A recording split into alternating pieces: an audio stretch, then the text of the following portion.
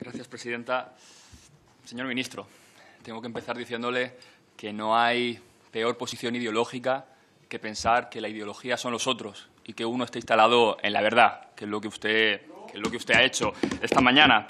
Porque la misma carga valorativa tiene hablar eh, de segregación escolar que de educación diferenciada. Usted dice que los informes de Save the Children no le sirven, que le sirven eh, informes de organismos internacionales. Pues le voy a dar un dato de un organismo internacional que a lo mejor a usted le suena e incluso respeta. Es el informe de PISA, que hablaba de que el índice de inclusión educativa de España en el año 2012 era de 74 puntos, mientras que en 2015 había bajado a 69 puntos. PISA reconoce que se está segregando en nuestras aulas y se está segregando no por comunidades autónomas, sino por motivos de clase social, por motivos económicos. Por tanto, eh, usted hoy se ha, dedicado a negar la mayor, a negar que nuestro, problema que nuestro mm, sistema educativo tiene eh, problemas y que los demás eh, no los inventamos y que incluso tenemos tufo totalitario. Yo esto es algo que... Tufo totalitario, ha dicho usted y tufo totalitario.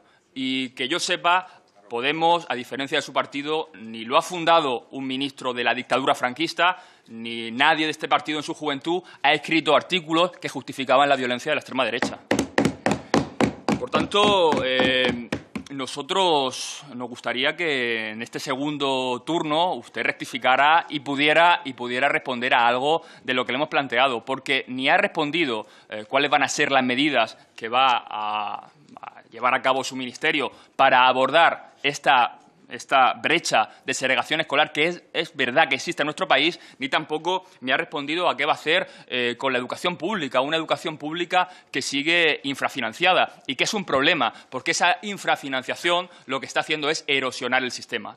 Porque si usted tuviera, por ejemplo, señor ministro, eh, pues un infarto o, una enfermedad más grave, seguramente no se plantearía, eh, o la mayoría de la gente, no se plantea entre un hospital público o un hospital concertado, porque los hospitales públicos tienen la suficiente financiación y calidad para que todo el mundo vaya a ellos. Esto que pasa en la sanidad pública, sin embargo, no pasa en la educación, eh, en la educación pública, porque cada presupuesto, presupuesto tras presupuesto, estamos viendo cómo se sigue eh, recortando.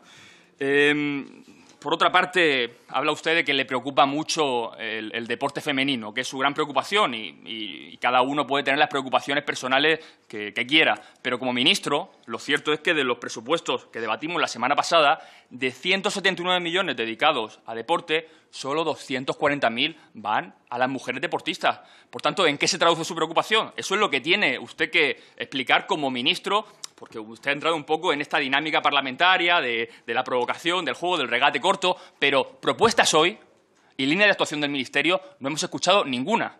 Usted solamente ha tirado balones fuera y en este sentido nos parece eh, una falta de respeto eh, a la comunidad educativa y a mucha gente que sigue estas sesiones.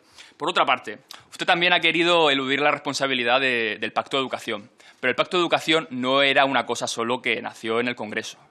Usted eh, varias veces se ha comprometido a que el Gobierno quería impulsar un pacto de educación y no ha puesto, sin embargo, ningún foro de negociación con la comunidad educativa, ni con los agentes educativos. Pero si estamos hablando que cuando los sindicatos han ido al Ministerio de Educación a negociar con usted las condiciones del profesorado interino, usted no lo recibió. Se tuvieron que quedar esa noche en el propio Ministerio porque usted no lo recibió. Por tanto, no ha habido ningún diálogo social ni con la comunidad educativa, ni ha habido ningún foro de debate real con las comunidades autónomas para sacar adelante ese pacto de educación. El pacto de educación también es su fracaso, señor ministro, y usted tiene que asumirlo. Por tanto, eh, me parece bien el tono eh, jocoso con el que nos suele, con el que nos suele contestar, como arma parlamentaria, pues está bien, pero usted tiene que responder también a las responsabilidades que tiene como ministro de Educación y a los fracasos que su ministerio está acumulando. Porque ni pacto de educación ni se están abordando los principales problemas de la, escuela pública, ni tampoco usted, eh, usted viene a, sede parlamentaria y no nos presenta ninguna línea de actuación para los próximos meses. Por tanto, esto es lo que le queremos eh, censurar. Muchas gracias.